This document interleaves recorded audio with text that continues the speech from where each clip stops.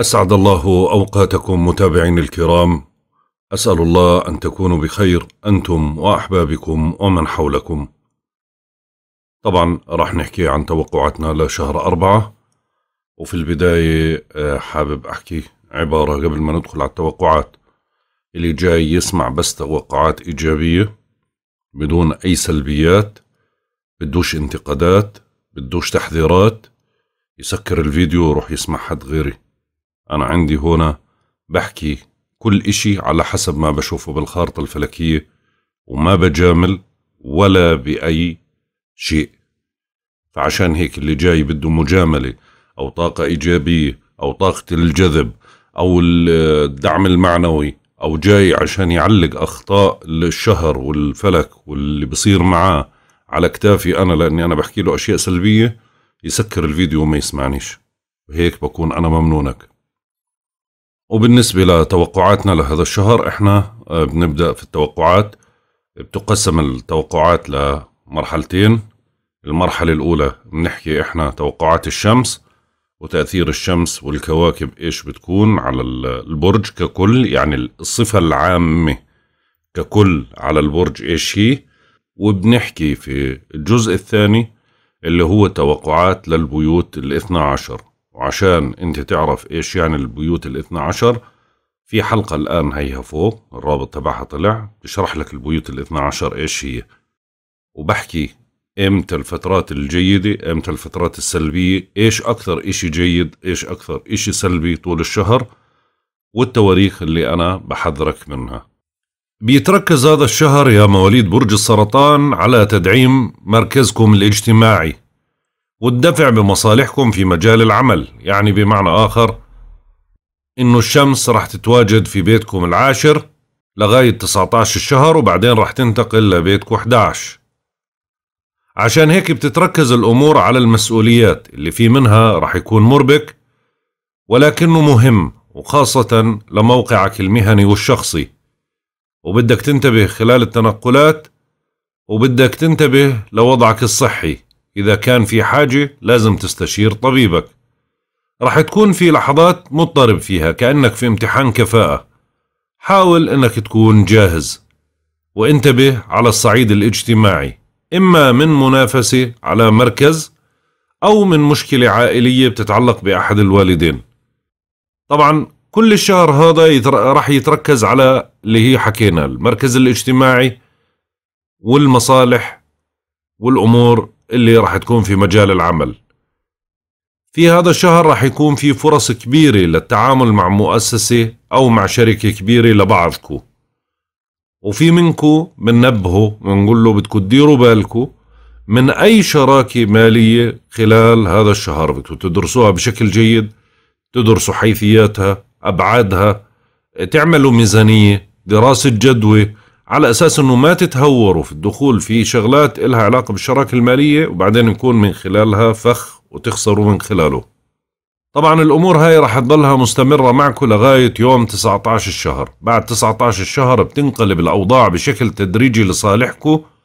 رح يكون الدعم والتأييد حليفكم ورح تكون كلمتك مسموعة ورح يكون في مكاسب مادية ومعنوية ورح تنشط اجتماعيا ورح تبحث عن الأصدقاء والدعم.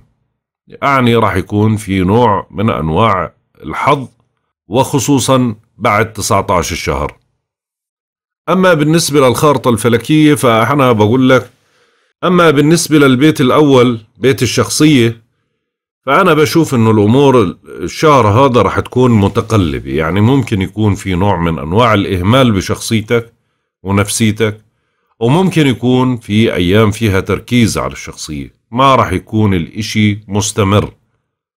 راح تلاقي في لحظات أنت روتيني راح تلاقي إنه في لحظات أنت عندك نوع من أنواع الملل أو الإحباط. حاول تشحن حالك بطاقة إيجابية طول فترة الشهر لأنه الوضع راح يكون متقلب. يعني أيام راح يكون معك وأيام راح يكون ضدك. أما بالنسبة للبيت الثاني واللي هو بيت المال فأنا شايف إنه في إيجابية خلال هذا الشهر. ولكن راح تكون متقطعة. يعني مش مستمرة طول الشهر والله بده يجيك مصاري وبده يجيك مش عارف إيش. لا راح تكون متقطعة. يعني مثلا مثل الأسبوع الأول بكون في فرص. مثل مثلا من 10 الشهر آه، أو 11 الشهر مثلا لغاية 13 الشهر في فرص. آه، من 19 الشهر ل 24 الشهر في فرص. فعشان هيك بنسميها إحنا فرص. غالبة على الشهر ولكن إنه ما بتيجي كلها ورا بعض.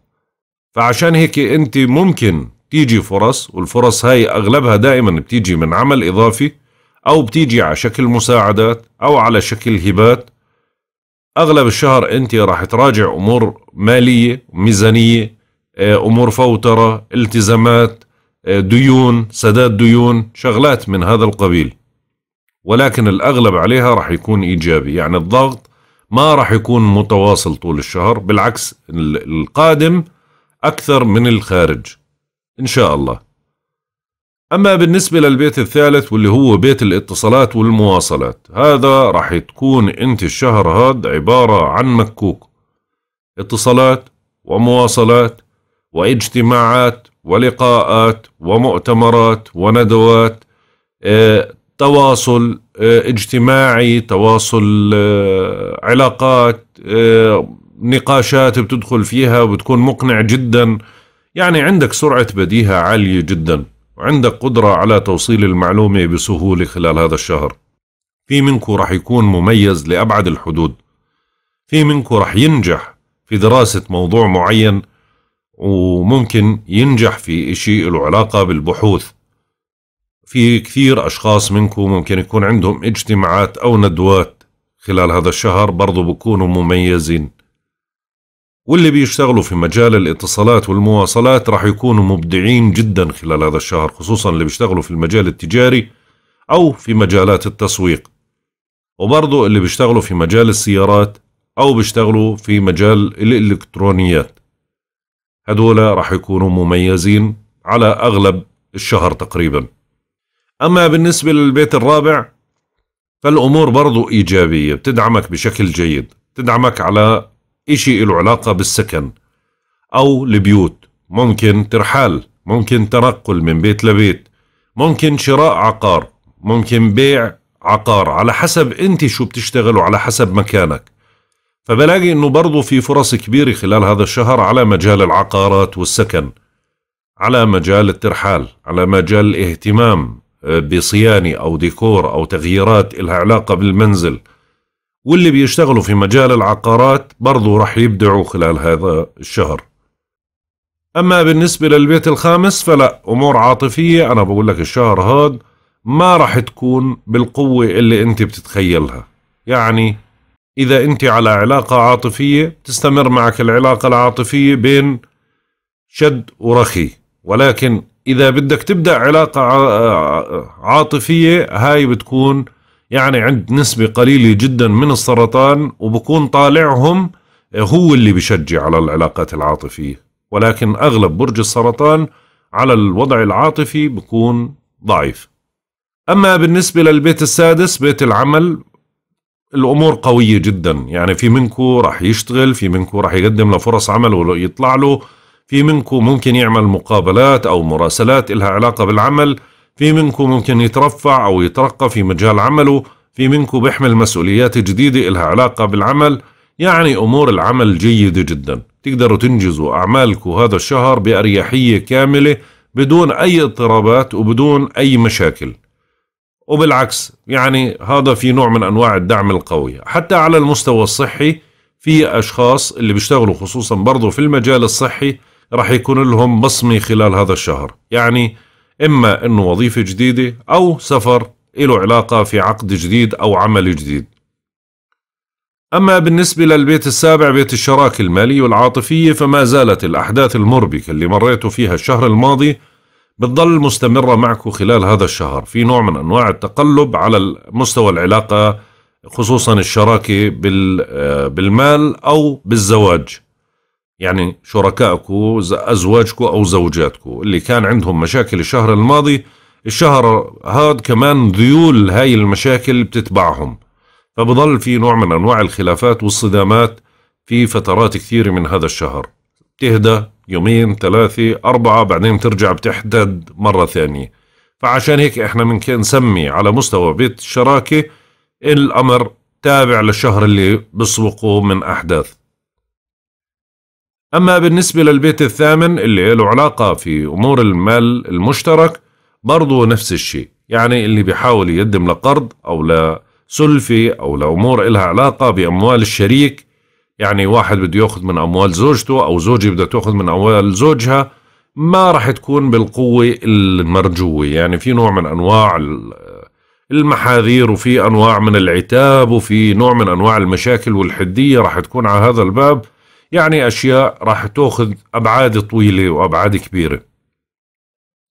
فعشان هيك حاولوا قدر الإمكان تفوتروا الأمور وترتبوها بطريقة بدون ما تلجوا أنتوا لعملية القروض خلال هذا الشهر. وإذا أجت القروض بتيجي في فترات معينة وبتيجي ضعيفة وبسيطة جدا مش بالشكل اللي أنت بترغبه. وفي منكم راح يصير عليه مطالبات مالية خصوصا على الديون أو على قروض أو على سلف آه، كان ماخذها آه، الشهر الماضي أو اللي قبله ممكن يصيروا أشخاص يطالبوهم. وفي الوضع هذا عادة أنا بقول لمواليد برج السرطان أوعوا تكفلوا أي شخص كفالة مالية لأنه ممكن أنه ينضحك عليكم أو ينتصب عليكم أما بالنسبة للبيت التاسع بيت السفر وبيت الدراسة الجامعية آه، بيت القضايا القضائية بيت الاستيراد والتصدير بيت الفلسفة والدين والأمور هاي. من بداية الشهر لغاية يوم 12 الشهر بكون الأمر طبيعي جدا. ما في أي جديد في هذا الموضوع. ركود كامل بكون في هذا الباب. أما ما بعد 12 الشهر بتحرك الموضوع باتجاهه الصحيح. يعني ممكن يصير في فرص لسفر ممكن يصير في تلميحات أو بوادر لأمور إلها علاقة بالسفر ممكن يصير في نوع من أنواع دراسة أو بحث معين ممكن تقديم امتحانات عالية المستوى ممكن يكون في إنجازات عالية على مستوى الدراسة أو الاتصالات الخارجية أو التواصل مع أفراد خارج البلاد. طبعا ما راح تكون كلها بعد 12 شهر لا ولكن هي الفرص بتوضح بعد 12 شهر. بتستمر لغاية تقريبا نحكي 22 الشهر كقوة. ولكن بعد 22 الشهر بصير الأمر ضعيف فاللي بكون عنده امتحان أو بكون عنده سفر أو بكون عنده أمور ممكن يتعطل في أي لحظة وممكن يلتغي في أي لحظة وممكن يصير في مشاكل على هذا الموضوع. أو إنه إذا كان عنده امتحان ما بده يعتمد اعتماد كلي على الحظوظ بالعكس بده يدرس ويتعب. لأجل انه يحقق إنجازات على هذا المجال. أما بالنسبة لبيتك العاشر المتواجد فيه الشمس فهو راح يكون مثل ما حكينا في توقعاتنا بداية الحلقة. يعني في نوع من أنواع التقلبات راح تكون إشي إلك وإشي عليك خلال آه، الشهر هذا.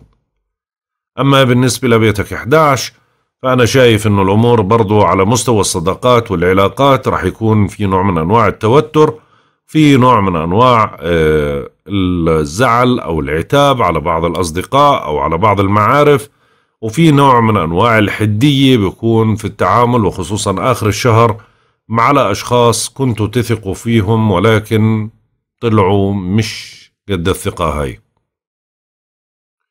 أما بالنسبة للمهم وهو بيت المتاعب اللي دائما هذا بيعمل الأشياء بشكل مفاجئ جدا. وأنا بشوف أنه الشهر هذا يعني في نوع من أنواع الأمان بالنسبة لبيت المتاعب. فعشان هيك في أعمال كثيرة بتقدروا تنجزوها بدون تراكمات. في نوع من أنواع الوضع الصحي الجيد اللي بيدعمكم. في أمور إلها علاقة باكتشافات جديدة في بعض الأشخاص. تلفت انتباهكم تعرفوا تغربلوا الأشخاص بتميزوا الأشخاص اللي حواليكم بشكل واضح. تعرف النصاب من الصادق من الكذاب من يعني بتقدر تفرز الأشخاص بطريقة قوية جدا. هيك وصلنا لنهاية توقعاتنا. والله أعلم. يا رضا الله ورضا الوالدين. سبحانك اللهم وبحمدك أشهد أن لا إله إلا أنت. أستغفرك وأتوب إليك. أترككم في رعاية الله وحفظه. إلى اللقاء.